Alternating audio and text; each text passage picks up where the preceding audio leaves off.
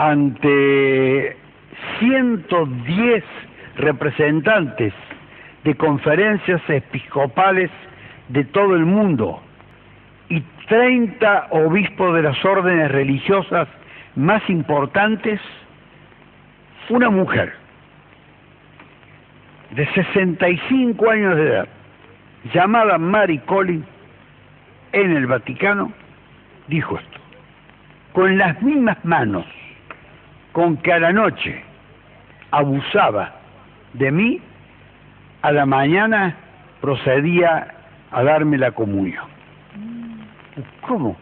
65 años ante semejante auditorio en la Universidad Pontificia Gregoriana del Vaticano se escucharon estas manifestaciones de una mujer de 65 años. ¿Y cuándo habría ocurrido eso? ¿Y qué importancia tiene eso? Enorme importancia. Habían sido convocados por Benedicto XVI en esta campaña de ir en contra de los sacerdotes pederastas, de los sacerdotes abusadores, violadores, que le han costado, además de prestigio, crédito, honra, honor, millones y millones de dólares a la iglesia. Pero el testimonio de esta mujer, testimonio conmovedor, era respecto a hechos que cuando tenía 14 años de edad y se encontraba hospitalizada, estaba internada lejos de sus familiares en una clínica y le dijeron que iba a ir un sacerdote a relatarle distintas historias, leerle, etcétera, lo que a ella le pareció muy gratificante que le leyeran de noche antes de dormir.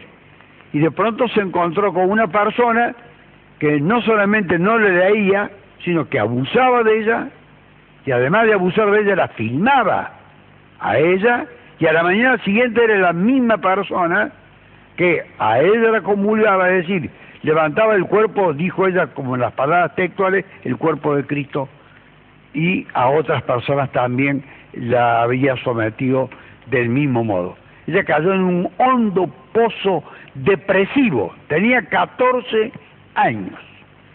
Se encontraba frente a un sujeto diabólico que se abusaba de esa manera de ella. Cuando le dieron el alta, no se podía recuperar porque cada vez que quería transmitir o denunciar esto que le había ocurrido, le hacían sentir que la culpable era ella, no era el sacerdote. Es decir, advirtió la complicidad de la corporación eclesiástica alrededor de este sacerdote, de este y de otros, pero concretamente lo que ella testimoniaba era de este sacerdote en concreto.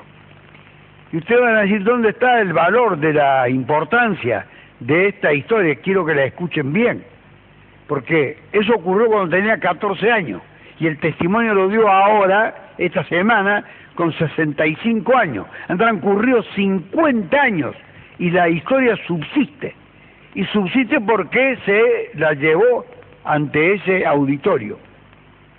No solamente escuchó eso, ese auditorio. La mujer fue de depresión en depresión y no podía salir de su cuadro de angustia. Hasta que a los 29 años conoció a un hombre que ella llamó maravilloso, se casó, tuvo un hijo, pero de pronto la situación volvía a hacerle recordar ese pasado ominoso, hasta que tuvo que ir a consultar a un médico.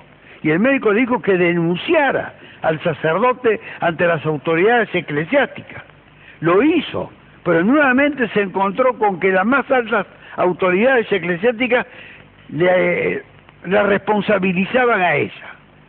Y llegamos casi cerca de la edad que ahora tiene y le dijeron, pero, señora, la historia ya sucedió hace medio siglo, ya nadie se acuerda de ella, usted la ha superado, tiene familia, tiene un hijo, olvídese de ella. Ni una palabra de estímulo, de aliento, de reconocimiento, de adhesión. Unos verdaderos monstruos esos sacerdotes y esos obispos. Por eso la reacción que tiene el Papa Benedicto XVI, dada la gran campaña universal que ha revelado que miles y miles de personas fueron víctimas de estas acciones verdaderamente indignantes. Hasta que, y esto es lo importante, a esta edad consiguió una satisfacción. Finalmente, un juez, no solamente por este hecho, sino por otros hechos, ¿qué hizo? Lo llamó al cura, al cura que 50 años atrás, y debe haberse ido en los 50 años con otras víctimas, lo encanó.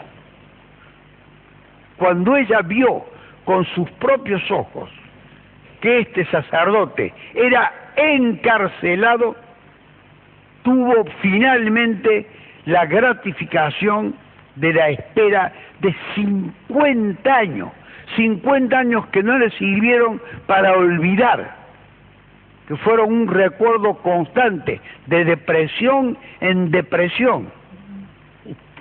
Pero hay un momento de salvataje individual, de salvataje íntimo, cuando se reconcilia la justicia con la sociedad.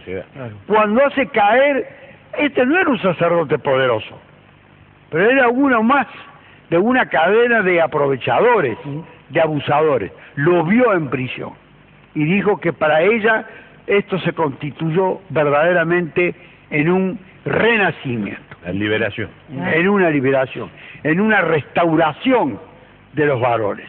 Por eso alguien allí, en esa conferencia, en ese lugar tan solemne, dijo, el que quiere escuchar, que escuche.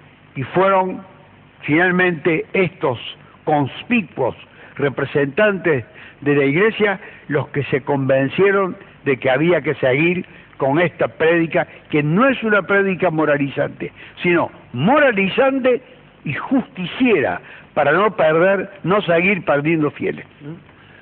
tengo tiempo para una pregunta técnica hablando de hablando de lucha y de espera, como, lo acaba de relatar. ¿Puede prosperar eh, en condenas el juicio de Susana Trimarco en Tucumán, teniendo en cuenta que es, es un juicio, ah, por lo que se ha visto y leído y escuchado, basado hasta el momento solamente en testimonios?